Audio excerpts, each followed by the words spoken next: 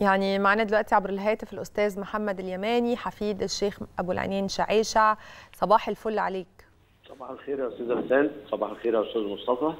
أهلا بحضرتك أهلا يعني بحضرتك. احكي لي كده بتحتفلوا إزاي بالذكرى السنوية للشيخ أبو العينين شعيش- شعيشع في كفر الشيخ؟ احكي لي بتعملوا إيه إحنا كأحفاد؟ النهارده في مدينة بيلا آه، في محافظة كفر الشيخ آه، بيتجمع الأهل والأحباب وأقارب الشيخ أبو العينين وبيجي بعض المقرئين والمحبين له من سائر آه، جمهورية مصر العربية. في ناس بتيجي من جنبنا من المنصوره من بيلا من كفر الشيخ. وبنحتفل بايات الذكر الحكيم. ويجي بعض المنشدين آه، يعني بيبقى احتفال جميل. يليق بال- بال- بالتقرير اللي أنتم عملتوه عن الشيخ الله يرحمه. الله صحيح يرحمه. رحمة الله عليه. بالتأكيد وسط ال ال ال يعني إقامة هذا ال ال الاحتفال آه، أو إحياء الذكرى بوفاه شيخنا الفاضل. بيبقى في عدد كبير من الحكايات. يعني بيقول الله يرحمه كان حصل كده الله يرحمه. وخصوصا حكاية المسجد الأقصى. كلمنا عن أبرز الحكايات ال- ال- المتداولة دائما سنويا في مثل هذه المناسبة. هو بس بالمناسبة أنا هقول لحضرتك الشيخ أبو العين لما دخل المدرسة كان ناظر المدرسة وهو في ابتدائي كان مسيحي كان اسمه الأستاذ منير جرجس تمام فكان هو اللي بيقرأ القرآن وهو صغير عنده حوالي سبع سنين في المدرسة الابتدائي. لسه في الكتاب في المدرسة في وكان مفوه وفصيح اللسان وصوته حلو كده برضه؟ جدا. آه آه. فالأستاذ منير جرجس ده خد بعض من أهل المدينة من بيلا وراح لوالدته لأنه كان هو والده متوفي عشان كده وحضرتك لما ذكرته في التقرير. بان هو كان يطلق عليه ملك الصبا ومقام الصبا ده طبعا معروف إن هو مقام الحزن والشجن. هو تأثر بموت والده لأن هو كان رقم 12 في اخواته ووالده توفى وهو صغير كان طفل صغير يمكن سنة. ولا حاجة فتأثر بموت والده فخدوا أهل الناظر الأستاذ منير جرجس خد بعض من أهل المدينة وراحوا لوالدته وقال لها خدي ابنك ابنك ملو يعني ابنك هيبقى شأن في القرآن لأن صوته جميل وبي وبيقرأ القرآن بطريقة صحيحة. ف- فدي من المفارقات اللي في- حياة الشيخ أبو العينين.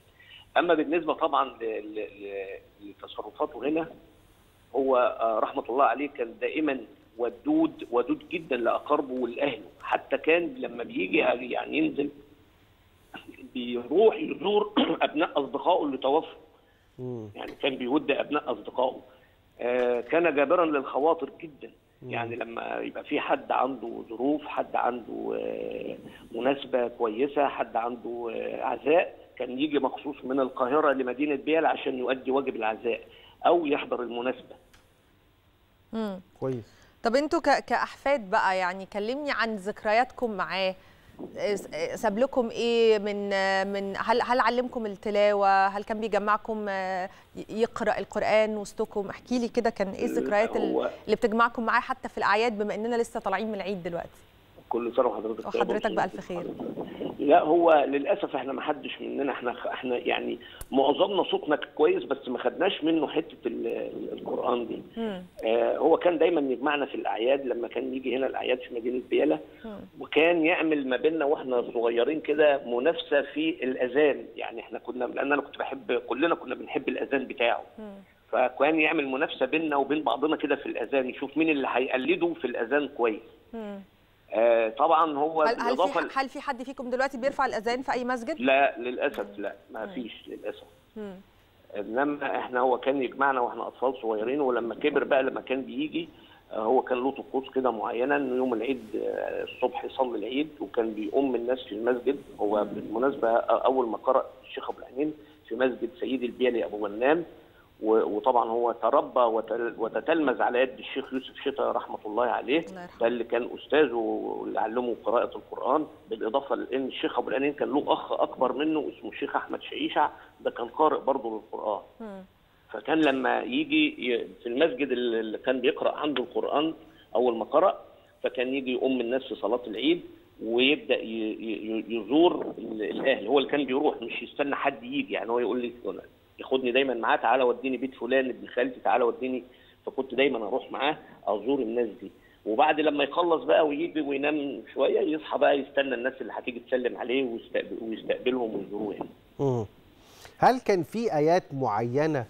آه، آه، الشيخ شعيشع يعني كان علامة في في تلاوتها؟ يعني آية من الآيات اللي دايما يعني برضه يعني بتظل آه، علامة في مسيرته وانتوا بتحيوا ذكراه بتفتكروا الآية دي إزاي كان آه. بيقولها؟ آه طبعا في سورة القصص. وأوحينا إلى أم موسى أن أرضعيه فإذا خفت عليه فألقيه في اليم ولا تخافي ولا تحزني. ده من العلامات ده يعني من العلامات المميزة للشيخ أبو العينين سورة القصص وفيه سورة مريم مش. آل عمران لأنه آل عمران دي مشهورة مريم إن شاء الله يمكن النهارده يتم إذاعتها في إذاعة القرآن الكريم مم. فدي من العلامات المميزة قراءه سورة القصص هو فعلا أنا لما دخلت على. يعني أسمع أكتر من تلاواته لقيت يمكن آل عمران هي متصدرة ال- البحث يعني بشكرك ورحمة الله على الشيخ آه، أبو العينين شعيشة كل الشكر ليك محمد اليماني حفيد الشيخ أبو العينين شعيشة شكرا يا فندم متشكرين شكرا شكراً شكرا جزيلاً. شكرا شكرا يا أستاذ مصطفى شكرا شكرا متشكرين. جزيلا